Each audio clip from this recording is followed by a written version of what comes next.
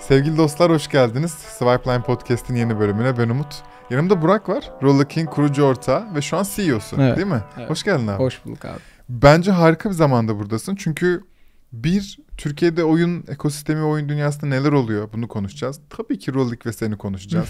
bu kadar hızlı exitti, earnout'u, akabinde satın almaları ve bu denli Türkiye'nin en büyük yayıncı ve oyun stüdyolarından biri olmanızı. Ve yeni IP'leri şu an 2K yani Zynga 2K'nin altında. 2K Hı. size yeni IP verip Hı, yeni hı. bir lisans marka verip oyun Hı. çıkarttırıyor. Bence çok güzel ayrıntılar var orada. Hızlıca da başlamak istiyorum. Nereden başlasam? Nasıl başladı abi? Onu, onu bir bahsedelim. Abi ben hukuk ve sosyoloji mezunuyum. Hiç alakası yok. Büyük babam hala kızıyor. Gerçekten. Ya, savcı olsaydım O falan zaman diye. ya şirket olmalı da siyasetçi olmalı. Ay, aynen öyle. abi. Değil mi? Aynen. Tamam, bitti. Ama hukuk mezunu olup işte avukatlık yapmayanlardanım. Dördüncü sınıfta bir reklam teknolojisi stajı yaptım. Hı. Daha sonra e, Mobilak'tan teklif aldım. Mobilak hani Türkiye'nin ilk app uygulamalarını Volkan büyük haberle evet, geliştiren şirket Volkan'la tanıştım. Beraber 3-4 sene çok güzel işler yaptık ve sonrasında birlikte oyun şirketi kurmaya karar verdik. Ne zaman kuruluyor? 2019 Ocak ayında 180 bin dolarlık bir sermaye ile kuruldu. Hı hı. İki ortağımla beraber Deniz ve Mehmetcan'la beraber 3 tane de yatırımcımız vardı. Böyle e, aslında çok da bilmeden e, yapabiliriz diye düşünüp enerjiyle, heyecanla başladığımız bir iş oldu. O dönem bir de hyper casual game publishing şirketi kurmak popüler bir şeydi. Evet tabii canım. Şimdinin AI gibi düşünebiliriz.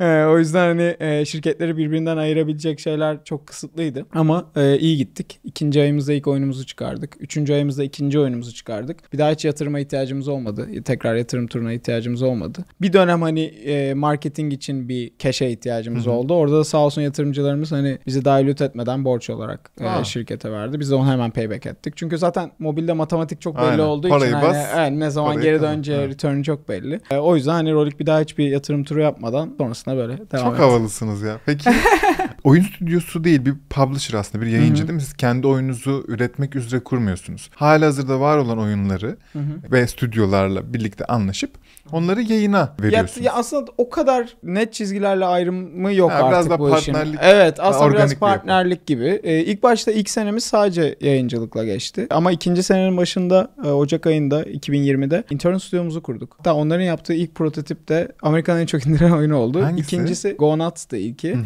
İkincisi Tangle Master oldu. O Hı hı. daha da büyük bir oyun oldu. Ha yani 200 milyona yakın download'u oldu sonra falan. hani öyle olunca aslında Zynga geldi. Hani hem Ha. yayıncı hem internal stüdyo yani yayıncılık business'ındaki datamızı internal stüdyomuzla da çok iyi kullandığımız ve ikisini birden başarılı yaptığımız için bir anda dikkat çektik ve ikisi birden bir anda hani şirketi bir tık öteye taşıdı diyebilirim. Şu anda 7 tane internal stüdyomuz var. Ee, satın aldıklarımızla beraber Türkiye'de kendi ekibimiz var. Satın aldığımız işte Oncosoft, ByteTyper, Nanotribe, Cruiser, Zero Sum 5 tane stüdyomuz var. Almanya'da satın aldığımız Evet. Popcore var. E, Bunlar e, bizle beraber internal stüdyolarımız. Bir de 70'e yakın yayıncılık tarafında bize aylık oyun üreten yakın partnerlerimiz var. Ama buradaki yöntem şey değil yani. Hazır oyununuz var gelin yayınlayalım değil. Gerçekten ayın başında o ay yapılacak oyunların saatlerce brainstorm edildi. Yani bayağı bir fikirlerin düşünüldüğü, ne yapsak diye tartışıldığı, ondan sonra 6-7 oyunun onaylandığı ve stüdyolarla beraber işte üretim sırasında bize ekran görüntülerini atıp böyle gözüküyor nasıl build atıp hani deneyimleyin gibi bizim çok yönlendirdiğimiz e, böyle çok yakın bir partnerlik. Rolik biraz bunu farklı yaptı ama her yayıncı böyle yapmıyordu. Ha, tam onu soracaktım. Aslında sizin orada alameti farkınız biraz daha yekpare olup tek bir ekip Evet. gibi olup oyunu aslında herkese hazır etmek. Evet, aynen. Bunların hepsine geleceğim. Bunlarda bence çok güzel şeyler var. Ama e, çok hızlı bir exit oldu ya. E, az önce bana işte kayıt öncesi söyledin. 16 ay. Evet. E, 16 ay. Şey söyleyebiliyor muyum bilmiyorum. Aslında 14 ay Evet, evet. Yani ayında biraz daha kapanıyor. önce sign edilmişti. 16'da İmzalar biraz duyuruyorsunuz. daha önce tabii Zynga bir e, halka açık şirket olduğu için onun e, döneminde e, açıklandı ama evet hızlı hatta Sizden önce biz kimi almıştı? Peak'i almıştı. Gram'ı aldı Gram önce. E, hatta ilk Zynga Turkey'den işte OK oyununu 100 milyon dolara aldı Evet. birkaç sene önce. Sonra Gram Games'i satın aldı. Bizden ya aslında Peak'le neredeyse aynı zamanda sign evet, edildik. doğru. Peak biraz daha önce anons edildi bizden. Biz bir sonraki turda anons edildik. Aynı yıl içerisinde Hı hı. aslında e, oldu. E, böyle olunca da hani oradaki insanları da çok yakın tanıyoruz, konuşuyoruz, ediyoruz. Gerçekten iyi bir ev oldu. İşte Gram Games onlara katıldıktan sonra çok büyüdü. Gibi örnekler aslında biraz daha e, iyi bir stratejik partnerlik olacağını hı. bize öngördü. Bir de hep bana şey soruluyor hani niye bu kadar erken hani çok daha büyük. Ya şu an Fırsattır Rolling bu değeri yani. minimum 2 milyar dolardır. Aynen hani öyle. o anlamda şu anki scale'ında ama şöyle bir durum var. Bir biz şirketin majority owner'ı değildik founder'lar olarak. Evet. Aslında e, ilk exit'imiz biraz daha yatırımcılar hı. odaklı bir exit'ti. O yüzden hani oradaki valuation bizim için çok önemli değildi. Bizim için sadece doğru bir stratejik partnerle Bizi işimize- büyütebilecek. Aynen. Ya Onu hiç satmamışız gibi yok. yapabilecek. Ben Aynen. öyle özetleyeyim. Aynen Devam edebileceğimiz bir yerde olmaktı. İkincisi de e, tabii ki earnout'umuz gayet bizim için verimli ve doğru bir şekilde strateji edilmişti. Aslında iyi bir strateji, Aslında iyi bir bizim için iyi yani. oldu. Hatta ilk exit'inde çok üstünde bir valuation'la earnout'umuz da kapandı. O yüzden Tertemiz. Sen e, yüzde sıfır sahipsin şu an. Şu an sıfırım evet. Değil Ama mi? yönetim kurulu başkanıyım. Ha, aynen öyle. Aynen, bir görevin evet, var. Evet, evet. Globalde görevin var mı? O official değil o. Ha. Hani böyle hadi bu senin gibi bir şey değil ama hani bütün Zinga'nın e, yönetim katın toplantılarına, Take-Two'nun işte Hmm. en üst seviye toplantılarına Gelecek katılıyorum. var. Parlak çocuksun. Gelecek var diyorsun. Onlar da senin yanında istiyorlar abi tabii. E, güzel bir ev öyle özetleyeyim. Yani hani iyi insanlar, başarılı insanlar. Size ilk gelen Zinga'dan gelen teklif çok düşük. Ama yatırımcılarını satmak istiyor. Hı hı. Ve oradaki ara bulucu, M&A'ci yani orada o deal Hı. yöneten insan diyor ki satmayın. Sonra daha fazla bir teklifle geliyor Zinga. Satalım, satmayalım. Daha büyük, daha büyük. en son yatırımcılar diyor ki satmayın anasını satayım ve bu şekilde hakikaten inanılmaz bir yere gidiyor o değerleme ve satıyorsunuz. Bu doğru bir hikaye mi? Abi e, bizim ilk değerlememiz aslında o dönemki gelirimize göre bence biraz yüksek. Hı. E, çünkü biz aslında 12 aylık bir periyotta bir bir gerçekleşen gelirimiz vardı. Hı. Yıl başından işte Mart sonuna kadar. Bir de Mart'tan Aralık sonuna kadar Projeksiyon, ettiğimiz bir gelirimiz ve karımız vardı. Bizim değerlememiz o Aralık sonu rakamından oldu. Hı hı. Mart sonu gerçek rakamımızdan olmadı. Bu da Zinga'nın aslında orada bir değer görüp hani yatırım yapmak istemesiyle Hı hı. alakalıydı. Onlar da valla aramıza kalsın eee, iyi bir satın alma olduğunu söylüyorlar. O yüzden hani öyle olunca biraz daha "Ah, haklısın. Tam öyle yaşanmasa da benzer bir şey yaşandı. Hani yatırımcılar odaklı değil ama ilk teklif de fena bir teklif değildi. Biz düşünüyorduk ama bizim M&A partnerimiz o dönem bize dedi ki durun daha iyisi de olabilir bence dedi. Çünkü biz gerçekten şirket çok büyüme evresindeydi ve çok belliydi aslında o. Aralık sonu rakamını tutturacağımız ki o Aralık sonu rakamını da Gerçekçi 1.3 miydi? katını yaptık. Hani daha da yaptık ki Zinga'ya katıldıktan sonra şirket 4 katına büyüdü bir sene içinde. Şeyden sonra neler oluyor? Ee, işte satın alımdan 3 sene geçti sanırım değil mi? Evet. Bu- Bundan sonra Rolex hikayesi nasıl gelişiyor? Ee, bir bence bizim için en değerli şey motivasyonumuzun devam etmesiydi. Çünkü dünyada çok satılmış sonra da hani ekibinin ayrıldığı hani biraz daha hani satın alan şirketin yönetimine devam ettiği örnekler var. Biz öyle yapmadık çünkü biz zaten çok erken katıldığımız için e, Zinga'ya. Hala ateşiniz vardı Aa, zaten. çok hala var. Şu anda da var. Belli, Rolik onu da hala soracağım. 4 yaşında yani. Hani ben hep ona örnek veriyorum. Hani evet bir sürü hikaye yaşam yaşanmışlığı çok Evet. ama hani daha 4 yıllık bir şirketiz. O yüzden 4. yılında bu seviyede olan bir şirketin 10. yılını hayal etmek beni hala çok heyecanlandırıyor. Bu nedenle de biraz daha sattıktan sonra benim için önemli olan hiç satmamışız gibi devam etmesiydi. Hı. Gerçekten de öyle devam etti. Yani hani hatta daha fazla yatırımlar yapabildik. Ekibimizi daha mutlu edebildik. Hı. İşte stoklarla, farklı imkanlarla. Ee, onun üzerine şirket satın alımları yapabildik. İşte Amerika'daki partnerlerimizden aldığımız yatırım, cash yardımlarıyla, nakit para yardımlarıyla. Bunların hepsi aslında dışarıdan bir yatırımcıyla yaptığında Kesinlikle. biraz daha zor. Biraz daha vakit alması Kesinlikle. gereken şeyler. Ama e, zaten birlikte çalıştığın rakamlarına çok hakim, vizyonuna çok hakim, geleceğini bilen partnerlerle bu biraz daha kolay oldu. O yüzden aslında ben iyi bir yatırımcı aldığımızı düşünüyorum. Hani bir Hı. exit'ten çok ve o Rolik'te öyle büyüyerek devam ediyor. Bu, bu, bu bakış açısı ve mantalite acayip değerli. Çünkü ben aslında sana sormak istiyordum neden hala devam ediyorsun tarafını. Ya çünkü evet kısa vakitte exit olmuş da olsa e, günün sonunda senin cebin para gördü abi. Sen iyi şeyler de başardın. Orada biraz doymuşluk hissi olması lazım ve genelde bu doymuşluk hissinin hemen akabinde biraz gevşeme gelir. Hiç görmüyorum abi gözünde bile alev var anladın mı yani? Çok belli bunu yapmak istediğimi yapacağım. Bu vizyonu ve ne yapacağını çok merak ediyorum. O yüzden bak burada neden hala devam ediyorsun sildim bile. Onun yerine şunu soracağım. Bu satın alma süreci nasıl gelişiyor? Zinga mı sana hadi git birilerini satın al ve bana işte alternatiflerimi göster diyor. Yoksa sen işte Abi böyle güzel şirketler var. Alırsak buralara gelebiliriz. Alalım mı diyorsun? Ya şöyle bir birinci satın alma periyodumuz yani 5 tane partner stüdyomuzu satın aldığımız ilk 2021 periyodunda yapmak istediğimiz şey yayıncılık işimiz çok büyüktü ama bizim sahip olduğumuz stüdyolarda yeterli esnekliğe sahip değildik. Küçük bir intern stüdyomuz yani içeride stüdyomuz vardı. O esnekliği geliştirmek istedik ki en son Power Slap işte büyük IP oyununu satın aldığımız stüdyomuz Uncosoft yaptı. Bu, bu bizim Ha. İçin çok büyük bir esneklik aslında. Çok hızlı iletişim kurup hızlıca bunu geliştirebilecek olmamız. O yüzden bir öyle bir esneklik istediğimiz için bir tur en yetenekli bulduğumuz partnerlerimizi Türkiye'den satın aldık. Bu birincisiydi. Burada Zinga'ya gittik, durumu anlattık. Böyle bir şey yapmak istiyoruz. Siz dedik. gidiyorsunuz. E tabii her zaman. Genelde öyle olur. E, ikincisinde de Popcore'da da bizim oyun üretim yani çok tasarım tarafına girmek istemiyorum ama oyun üretimi anlayışımızla ilgili çok iyi yaptığımız ve biraz daha iyi olabileceğimiz bir kısım vardı. O da özellikle puzzle oyunlarımızın daha uzun süre hayatta kalması ve daha uzun süre gelir üretmesiyle alakalı. Bunun örneklerine araştırdık ve en çok Popcore içimize sindi. Yine bunu doğru şekilde anlatarak Rolik bu Popcore'dan bunu alacağız aldıktan sonra sadece işte geliri e, oyunları değil bir yandan da böyle bir öğrenim kazanabilme şansımız var. Data kazanabilme şansımız var diye anlattığımızda onlar da onayladı. Abi çok farklı olan şey Popcore'da Take-Two Zynga'yı satın aldı. Hı hı. 12 milyar dolara yani oyun sektör tarihinin şimdi Activision onaylandı ama o ana kadar en, En önemli en büyük evet. deal'ıydı. Ve bir hafta sonra ben adamlarla tanışıp dedim ki ben bir şirket alacağım.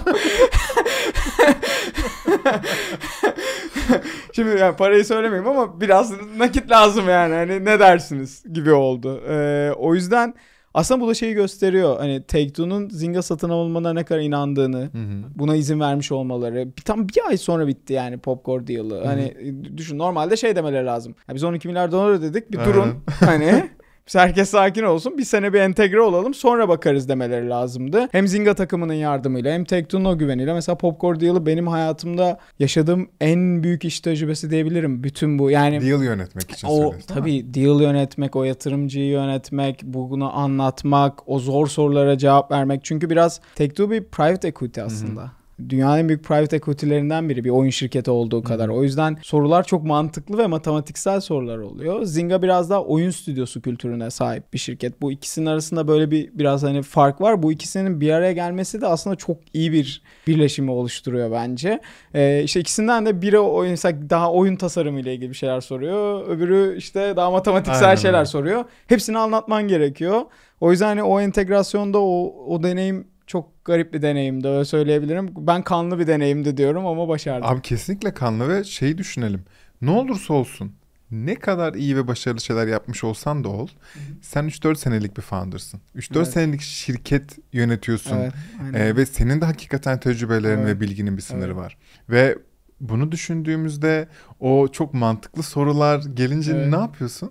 Yani her şeyi sen mi koşuyorsun? Ne kadarını öğrenmeye çalışıyorsun? Ya ki bence ya birincisi iki tarafı da bilmek çok avantaj orada. Hı hı. Hani bir yatırımcı ne ister ama bir de satın aldığımız ekip ne duymak ister. Hı hı. Çünkü ben satan tarafta da olduğum, alan tarafta da olduğum için aslında zor bir anlaşmaydı bence. Ama ikisini de bilmemiz bize çok avantaj kattı. Tabii ki. Hani bazı alanlarda çok kraldan çok kralcı olmadık. Hı hı. Hani Take-Two veya Zynga tarafında. Hı hı. Ama bazı alanlarda da aslında neyi daha fazla itebileceğimizi de biliyorduk. O yüzden hani o denge iyiye götürdü diyeyim. Ee, Tamam. böyle, böyle bir tecrübe yarattı diyeyim. Çok iyi. Bu hazır sen az önce o Slap oyunundan bahsettin ya yeni IP Hı. işte. Ne zaman çıktı? Geçen hafta Geçen çıktı. hafta çıktı. Cuma günü hatta. Evet, Perşembe evet. ya da Perşembe Cuma. akşamı. Abi bana onu küçük bir böyle bahsetmek istiyorum. 2K Zinga'yı yeni alıyor. Aha. Ne zaman aldı? Take-Two Zinga'yı geçen sene Haziran Aynen ayında işte. kapandı. Yani bir sene anca oldu. Take-Two'ya ait olan bir IP, bir tescilli markayı diyoruz ki biz bunu mobil oyun yapacağız ve bunu size veriyorlar. Rollik yapsın diye. Hı hı. E Ben Türkiye'de daha önce bir stüdyo veya işte publisher böyle bir şey yaptı mı bilmiyorum. Bu global bir IP'yi Sanırım e, aldı mı bilmiyorum.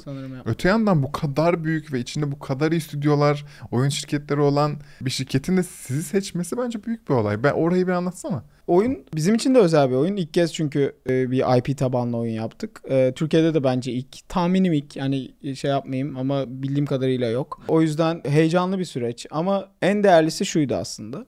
E, Power Slap'in yeni sezonu geçen hafta per- Perşembe gecesi yeni sezon açılış eventi vardı, Hı hı. etkinliği vardı. Ve biz bu oyunu konuşmaya başladığımızda aslında rolling yapmak isteme, istenmesinin sebebi 8 haftamız vardı sadece. Anlatabiliyor muyum? Hani e, bizim bilindiğimiz yüzümüz hız ve kalitenin beraber olması Hı hı. aslında. O yüzden biraz oradan çıktı Hı hı. sohbet. Bir de Power Slap oyunu TikTok'ta işte Reels'da çok fazla izlenen ve e, viral olan bir içerik aslında. Hı hı. Çünkü insanlar spor kadar şu tokat videosu 5 saniyelik keyifli Evet. duruyor. Ya, Hani gerçek oyundan bahsediyoruz. Gerçek evet, mü- müsabakadan oyun. bahsediyoruz yani. müsabaka.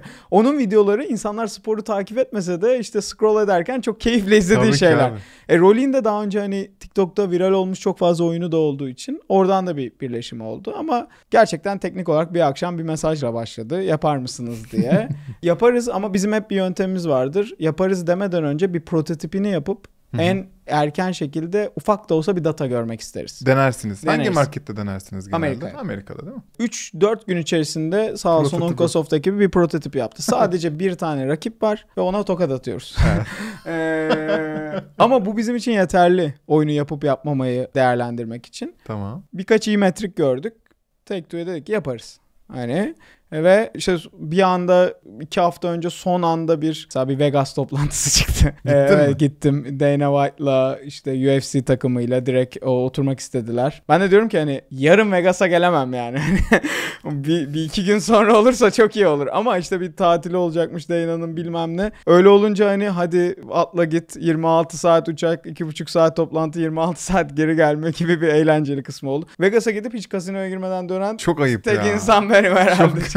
Turistler tarihinde.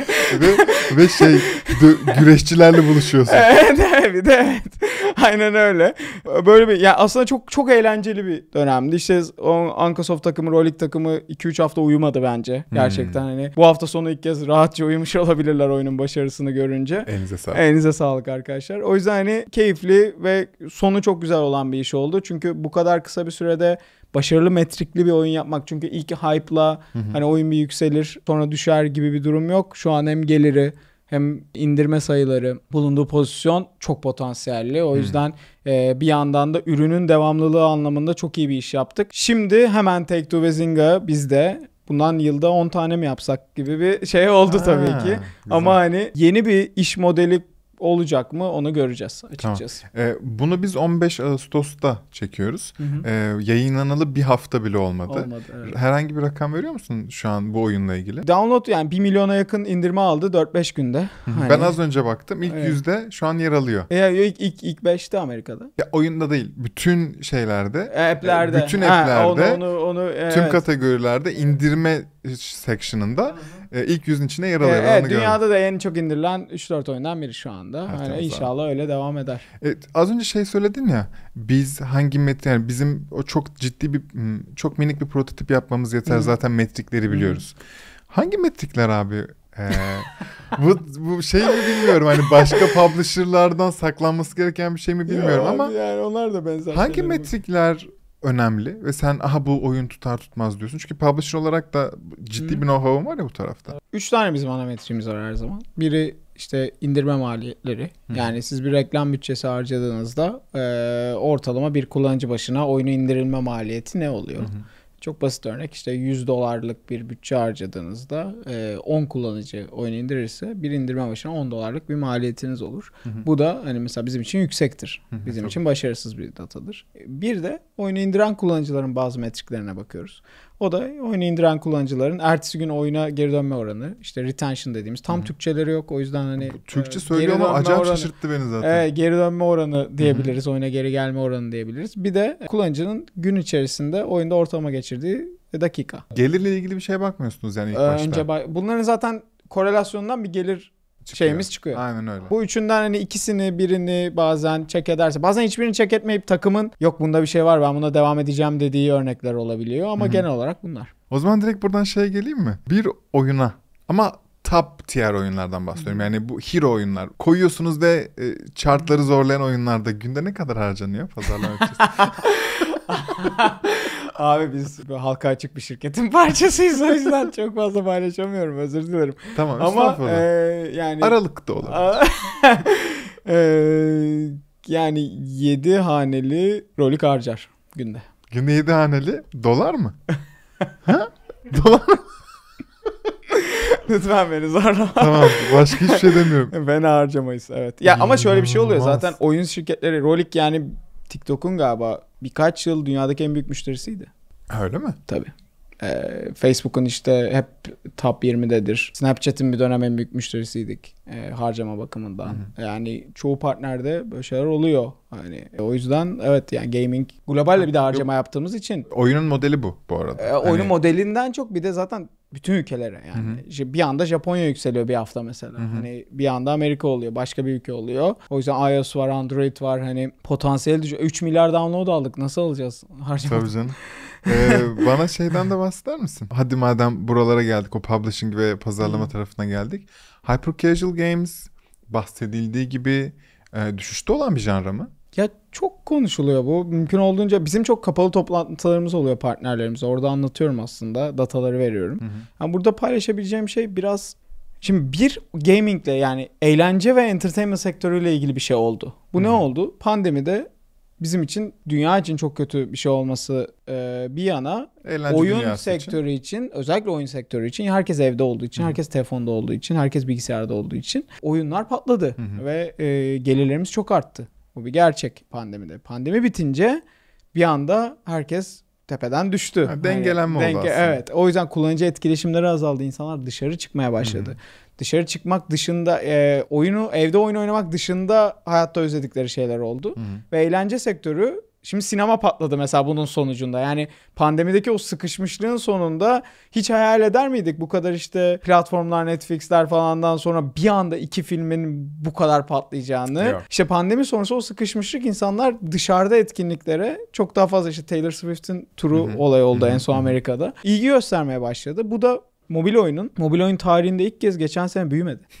hani bu ilktir. Daha önceki hiçbir döneminde mobil oyunun sene yıldan yıla büyümediğini hatta. olmamıştır. O yüzden bunlar hem mobili hem konsol oyunlarını negatif etkiledi. Böyle olunca aslında hyper casual değil hangi casual mı iyi? Yani Aynen neresi öyle. iyi? Hani konsol mu iyi? İşte midcore oyunlar mı iyi? Aslında hepsinin iyisi var hepsinin daha başarısız kalan tarafları var. Evet. o yüzden ben eğlence dünyasında biz eğlence teknolojileri diyorum bizim işimize bu arada. Hani Hı hı. biraz öyle. Burada bir kural var. Her sene hit yapmak zorundasın. Aynen öyle. Ya Warner Brothers, Brothers'da olsan yani sen Barbie yapmak zorundasın yani. Aynen. Yani her sene.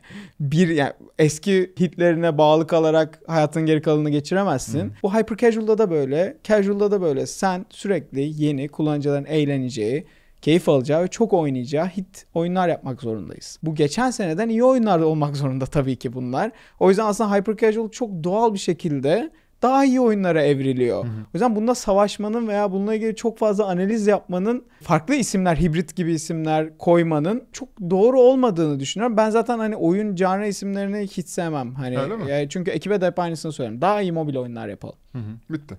Bu kadar. Oyun istiyorum. Oyun yani mobil Aynen. oyunlar yapalım. Bir oyunun kuralı Power Slap mesela. Son Hı. yaptığımız oyun. Biz bir hyper casual yayıncıyız. Hı hı. Power Slap mid-core bir spor oyunu. hı. Yani bir kariyer modu var. 30-35 gün geçirmen lazım ki şu anki içeriğimizin sonuna gelmen için. Ee, bir training modu var karakterini geliştirdiğin. Arkadaşlarınla birbirlerine yarışabileceğin modunu yayınlayacaksın. Şimdi bunların neresi hyper casual? Hiç. Ha, biz kendimizi sınırlarsak bunları başaramayız. Ama şunun için yapmadık. Biz casual oyunlar yapalım diye de yapmadık bunu. Biz o oyunun, elimizdeki oyunun ihtiyacı olan buydu dizaynın ve tasarımın. Biz o yüzden bunu yaptık. O yüzden hani biraz geleneği yanlış olmuş yayıncıların bahane üretimiyle hyper casual'ı çok birleştirdiklerini görüyorum. Anlatabiliyor muyum? Çok iyi. Ee, o öyle öyle olunca da biz biraz bundan uzak duruyoruz. Çünkü bu quarter tarihimizin en büyük iki hyper casual oyunların oyununu launch ettik. Yeni Weaponcraft ve Twisted Tangle ve inanılmaz iki oyun. Yani hani o anlamda e, şimdi nasıl öldü diyebiliriz ki. Aynen öyle. Ben kesinlikle buna katılıyorum. Ama konuşmayı sevdiğimiz bir endüstri, e, oyun endüstrisi Türkiye'de. Ve olumsuzlar genelde çok daha konuşulur. E, ama data her şeyi açıklar. Ya diyorum ya bir dataya girin, bir sensör tavra, bir chartlara bakın. Orada işte Rolik kaç tane oyunu var o chartlarda, kaçı hyper casual değil ve hyper casual veya değil görün. Bitip bitmediğini orada anlıyorsunuz. sana sana bence. çok net bir data vereyim mi? Lütfen. İlk yüzde şu an 11 tane rolik oyunu var. Amerika'da en çok indirilen 100 oyunun 11'i rolik oyunu. Aynen %10. Daha Evet. fazla. İlk ilk 5'te bir rolik oyunu var. İlk 10'da 2 rolik oyunu var. Bir başka Türk şirketinin de oyunu var. Zynga şirketleri de var. Zynga olmayan şirketler de var. İlk 50 grossing oyunda 3 tane Türk şirket oyunu var. İlk 3 grossing oyundan bir tanesi Türk şirket oyunu. Zaten hani bence çok iyi bir durumdayız genel Bence olarak. de çok iyi E, durumdayız. Evet ya o yüzden hani bu bu sadece şu var. Tabii ki şey organizasyonlar değiliz biz. Hani kar amacı güden eğlence teknolojileri yapıyoruz diyeyim. Evet. O yüzden de işimizin gerçekleri işte pandemi sonrası olduğu gibi birim ekonomide bizi zorladığında Hı hı. Bazı esnek hareketler yapmamız gerekiyor her zaman. İş İşte. Rolik yakın zamanda çalıştığı oyun stüdyosu sayısını azalttı. Bu hani sektörde bir etki yarattı. Bazı ekipler işte e, daha az takımla çalışmaya karar verdi başka şirketler. Rolik belli alanlarda bunu yapması gerekti. Ama bu pozisyon almalar aslında tamamen insanların tüketim alışkanlıklarıyla doğru Aynen öyle. orantılı. O yüzden hani pandemi sonrası bir düzleme oldu diyeyim. Hı hı. E, o düzlemenin sonucunda da e, şu an tekrar büyüme moduna herkes geçmiştir diye düşünüyorum. Bizim için en azından öyle. Şeyi soracaktım böyle biraz açıklamış gibi oldun. Hani eklemen var mı diye Hı hı. soracağım. İşte az önce bahsettiğim gibi biz konuşmayı seviyoruz bu endüstriyi. Ve işte geçtiğimiz hafta veya ondan önceki hafta e, işte Türkiye'de oyun dünyası, oyun endüstrisi çok kötü gidiyor. İşte işten çıkarmalar yapılıyor. Hyper casual zaten bitiyor. Hı. Biz sadece mobil oyun yapabilen bir ülkeyiz vesaire deyip böyle bir felaket şeyi, iletişimi yapılmıştı. Hı hı. Nasıl görüyorsun? Bir sadece mobil oyun yapabilen bir ülke olduğumuza kısmen katılıyorum ama benim oynamaktan en keyif aldığım PC oyunu Bannerlord. O yüzden Hmm. o da bir Türk oyunu. Aynen Yani ve çok iyi bir oyun olduğunu düşünüyorum. Aslında bilgisayar oyunu da yapabiliyoruz. Tabii ki. Şimdi konsola da çıktı hatta. O yüzden hani bir tam ona katılmıyorum. İki Şimdi oyun hyper casual yayıncılar işte Grand Peak Rolik üst üste satıldı. Bazı şirketler çok büyük yatırımlar aldı ve bu oyun sektörüne oyun tasarımı veya ürün odağı olmayan insanları biraz çekti. Hı hı. Ve biz de özellikle Rolik tarafında ne olursan ol gel deneyelim şeklinde yaklaşırız hep. Hı hı. O yüzden biraz yetenekliysen çünkü bizim çok farklı oyunlarımız, çok indirme almış oyunlarımız hiç hayal edemeyeceğin çok fazla ekipten oyunumuz çıkmıştır. Hı hı. O yüzden senelerce başarısız olup bize beraber başarılı olanlar vardır. İlk oyunlarında dünyanın en çok indirilen oyununu yapmışlar vardır. O yüzden hani biz bir prototip yeteneğine ve tasarım yeteneğine bakarız ve sonra denemeye alırız her zaman. O yüzden pandemi sırasında ve sonrasında sektör imkanımız da olduğu için çok büyüdü. Ve Rolik de bunu büyütenlerden biriydi. Ama sonrasında gerçekten ürün odağı olduğu için mi bu işi yapıyorlar? Yoksa hadi burada para var diye mi yapıyor olanlar ayrıştı aslında. Evet. Hani bu bence Doğal e, seçilim doğal- deniyor buna. Evet aslında oyun sektörü şu an en iyi anında. Çünkü en uzun dönem sürdürülebilir anında şu anda Aynen. Türkiye'de. O yüzden hani ama her zaman bir daha bu e, yükseliş olacaktır. Yani bir daha olmayacağının şey yok. Tekrar Rolik karar verebilir ve diyebilir ki ben tekrar ayda 800 oyun üreteceğim ve tekrar 150 tane stüdyoda çalışacağım. O yüzden hadi buyurun arkadaşlar. Orada bir üretim e, ekosistemi tekrar büyür. Hı hı.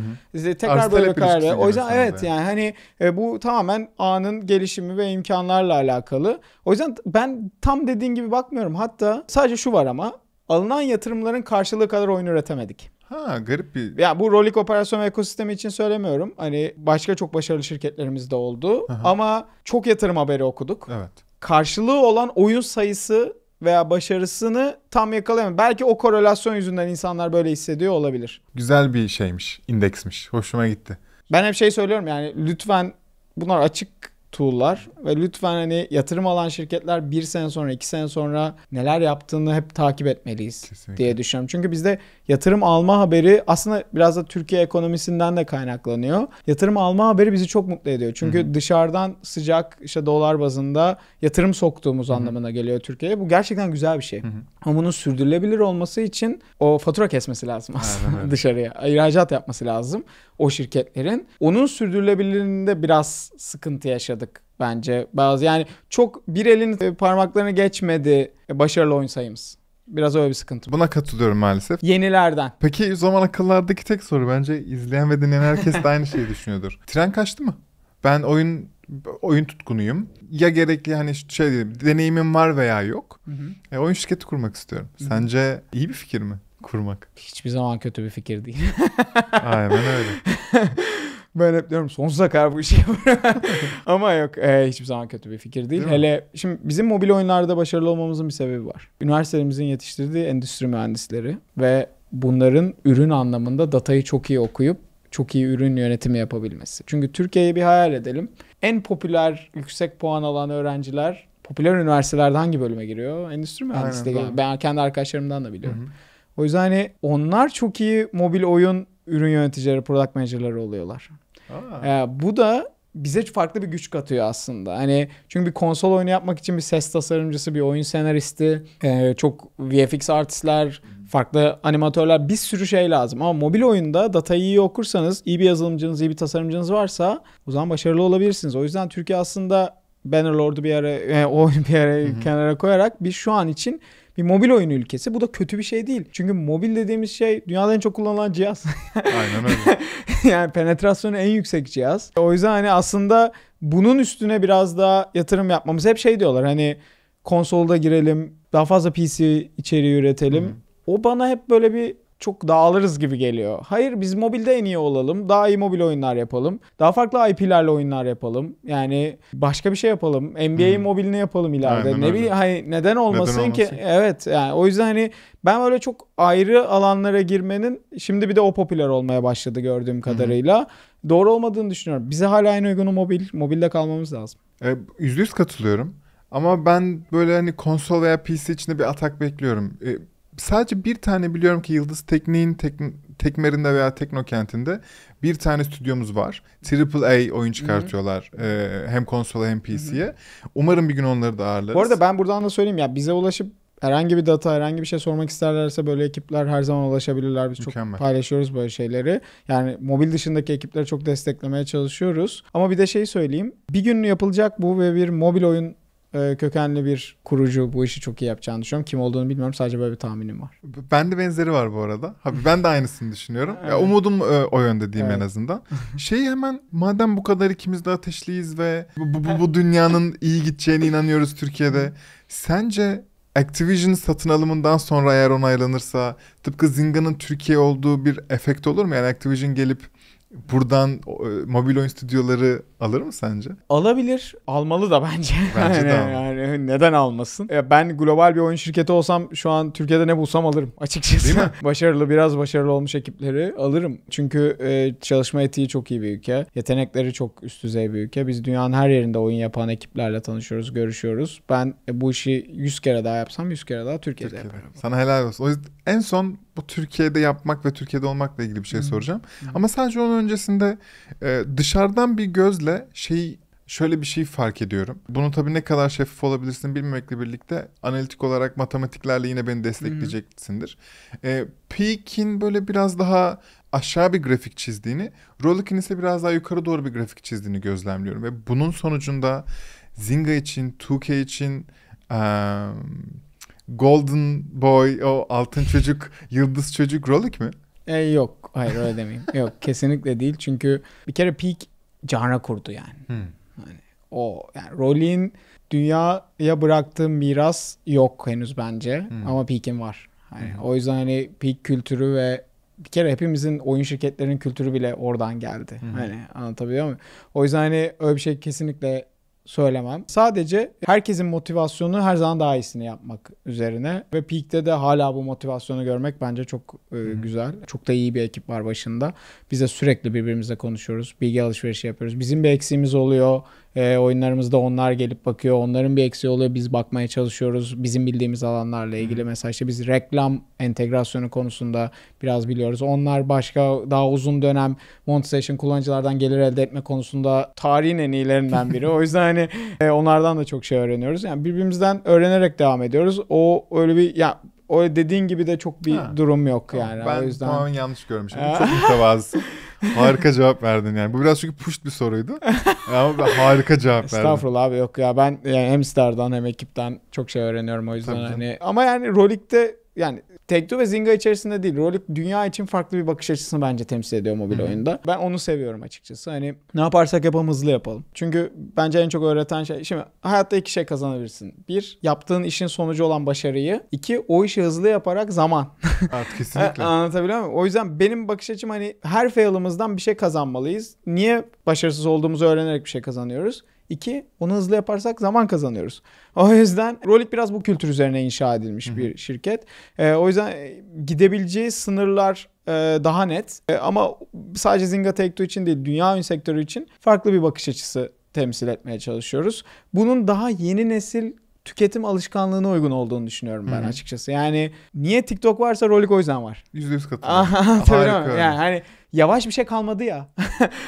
Ya ama işte swipe line doğuşu da o ya 15 Evet. saniye kuralıyla doğduk biz. Hani Aa, evet doğru. sen 15 saniyede bir bilgiyi cebine koyabilirsin ve daha fazlasına ihtiyacın yok. Yok, Ve evet. zaten bir raporda gördüm ben. Makale, haber okuyan insanların %70'i sadece 15 saniye geçiriyor. Geçiriyor. evet. Şimdi bu bir alışkanlıksa Evet. ben gidip 300 kelime bir şey yazmamalıyım. Yazmama. E, yani. 15 saniyede okunacak 280 karakterde bir şey Evet. yazmalıyım. Ve Swipeline bu yüzden doğdu ve iki seneden kısa bir sürede Evet. işte bir yere geldi. Şimdi Evet. kendimi övmek gibi olacağı için susuyorum. Şeyi söyleyeceğim. Öte yandan bakınca bütün bu resme Rolik ve Peak e, çoğunlukla Amerika, bütün dünyaya ama çoğunlukla Amerika'ya hizmet ihraç eden, Hı hı. e, teknoloji ihraç eden Hı hı. iki şirket. Ve dolar sokuyorlar. İkisi de Türk Hı. şirketi. Hı hı. Dolar sokuyorlar şirkete. Ee, oranı bilemem ne kadar sokuyorlardır ya da işte Hı. toplam ihracatın yüzde kaçıdır vesaire gibi. Hı hı. Ama gurur duymamız gereken bir şey. Evet yani Rolik yani %4'e yakınıdır. Ee, Tüm Türkiye'nin. Tüm Türkiye'nin Amerika Amerika şey. ihracatının e, iyi bir rakamıdır. Hani İnanılmaz. Peak'le beraber diğer oyun şirketleriyle beraber oyun sektörü bu anlamda çok 10-15'i fazla geçiyordur. ya fazladır Hı hı. diye düşünüyorum. Ne kadar önemli. Ya burada bence önemli olan bir de bunun çok 500 kişiyle yapılması toplam. Evet. Yani anlatabiliyor Kişi muyum? başı Ee, değeri de- düşünsene. değeri çok Düşen yüksek. O yüzden hani tekstil deyince başka bir sektör deyince büyük fabrikalar hani bu da iyi bir şey. O anla o taraftaki hı hı. istihdam için. Burada teknoloji işi de bambaşka bir iş. Ve bize bizim yeteneğimize çok uygun bir iş. O yüzden hani bu başarının bu şekilde devam etmesi Türkiye'nin özellikle kalkım ekonomik kalkınmasında çok değerli olduğunu düşünüyorum. Çünkü teknoloji ihraç etmek çoğu başarılı ülkenin birinci, ikinci ana e, büyüme kalemlerinden Evet. biri.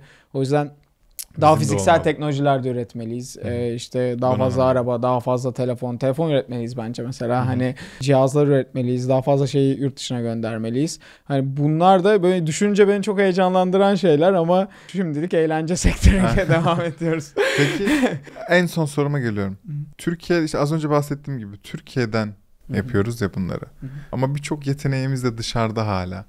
Ama burada olsalar daha fa- az önce bahsettiğimiz her şeyi de yapabiliriz. Ne diyorsun bu konuda? Bir, anlıyorum bir yandan ama ben hep aynısını söylüyorum ekibe de.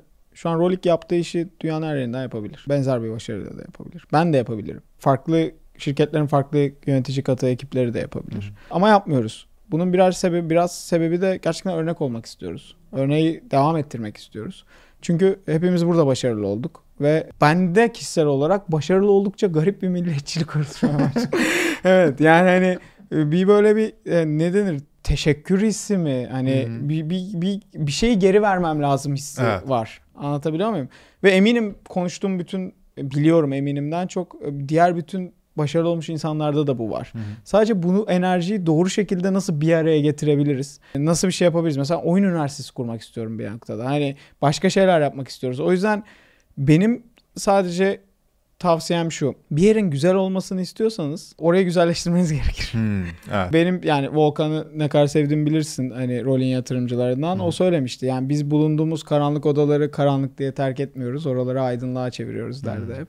O yüzden hani ay- benzer bir şekilde yaklaşmamız gerekir. Eğer rahatsız olduğumuz, mutsuz olduğumuz bir şey varsa gitmek veya kaçmak değil bunu düzeltecek şekilde mücadele etmek bence çok önemli ve bunu e, istihdamla, teknolojiyle başarılı ürünler yaparak yapmaktan daha güzeli de yok bence. Hani politik taraftan yapmayı Hı hı. çok doğru bulmuyorum ve anlamlı da bulmuyorum bizim gibi e, insanlar için. Bizim için önemli olan hani demin söylediğim işte Amerika'nın en çok in- indirilen 100 oyununa biz 10, da, 10 tane daha oyun yaparsak ve bunu hep beraber yaparsak asıl milliyetçiliğin burada olduğunu düşünüyorum. O yüzden hani umarım yakın zamanda hem buradaki arkadaşlarımızı daha mutlu edebiliriz hem de gitmiş arkadaşlarımızın da gelebileceği şanslar yaratabiliriz. Bence Türkiye'nin önü yani ben bir de şey gördüğüm için hakikaten çalışma etiği, yeteneği ben küçük bir Amerika olduğumuzu düşünüyorum. Ha, Bu anlamda evet. ben- bence Türkiye'nin hep yanlış Avrupa'ya bakıp örneklerle Türkiye'yi yorumlamak. Evet. Avrupa ile hiç benzemiyoruz ve alakamız yok. Onu söyleyeyim yani. Hani tüketim alışkanlığımızdan tutun ülkenin harcama ritmine, büyüklüğüne her şeye baktığımızda bak. genç nüfusa baktığımızda yani tamamen bir Amerika olduğunu yüz düşünüyorum Avrupa'da ve çok iyi bir coğrafyada bir Amerika olduğunu düşünüyorum. O yüzden buradaki potansiyeli çekip almak önümüzdeki 5 senede çok mümkün bence. Hmm. Çünkü teknoloji şirketleri özellikle görüyorsunuz Amerika'da olanları. Hmm. Yani işte 5-6 bin kişilik şirketler e, Twitter gibi hmm. neler yaşıyorlar. Sonra neler olması gerekiyor. Hani bayağı büyük değişiklikler gerekiyor. Çünkü bazen inefektif olan şeyler oluyor. Hmm. Yani, e, ama Türkiye'nin efektifliği ve bu anlamdaki potansiyeli çok çok yüksek bence. Çok teşekkür ederim gelip anlattığın ben için. teşekkür ederim. Çok keyifliydi. Daha fazla oyun stüdyosu almamız lazım. Daha fazla oyun stüdyosu kurucusu almamız lazımı acayip hissettim. Ee, iyi ki varsınız. Bence harika bir endüstri, harika insanlarsınız. Sen özellikle gelip bu denli ufkumuzu açtığın için teşekkür ederim abi. Ben ağırladığınız için çok teşekkür ederim. Ara ara mutlaka gelmek isterim. Seve çok seve. keyif aldım. Köpeğin çok olsun diyorum. Sevgili dostlar, izlediğiniz ve dinlediğiniz için teşekkürler. Böyle harika insanlar var Türkiye'de. Lütfen siz de gelin eğer dışarıdan izliyorsanız. Eğer Türkiye'deseniz ve Burak'a bir şeyler anlatmak istiyorsanız LinkedIn'ini aşağıya koydum. Başka da herhangi bir link koymayı düşünmüyorum. Power Slap'i koyayım ya. Belki merak ediyorum. Power Slap'i de koydum. Aa ya çok sponsorlu gibi olur. Koyma. Koymuyorum vazgeçtim. evet aynen. Ee, eğer bir öneriniz varsa şu arkadaşı da almak ister misin diye yorumlarda belirtebilirsiniz. Kendinize çok iyi bakın. Bir sonraki bölümde görüşürüz.